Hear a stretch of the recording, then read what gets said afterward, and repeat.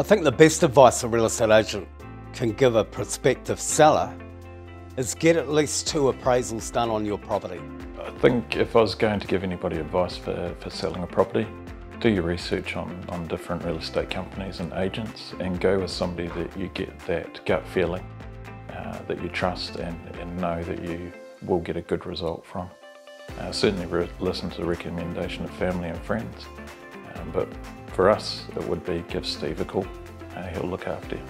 Some of my clients have lived in homes for many, many years. And for them, it can be a very emotional experience. I think having an agent on board takes out the personal connection that you have to a property. Uh, it allows them to be a bit more pragmatic about what markets they go into and how they market your property.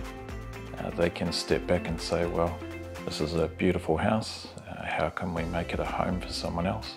I believe it's important your real estate agent connects with your property in some way. Because if they start to feel passionate about your home, that passion will come through in the marketing.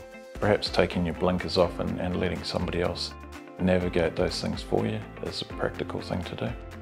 Uh, certainly the legal side of things, knowing when to uh, do things and at what stage it's important to do them is another thing that home buyers might not necessarily be familiar with and it could trip them up later on.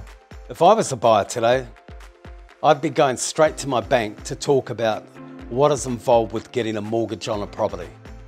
You'd be discussing interest rates, fixed term loans versus floating.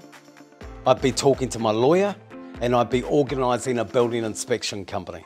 I think Steve offers himself. He gives a lot more than we've experienced with any other agents.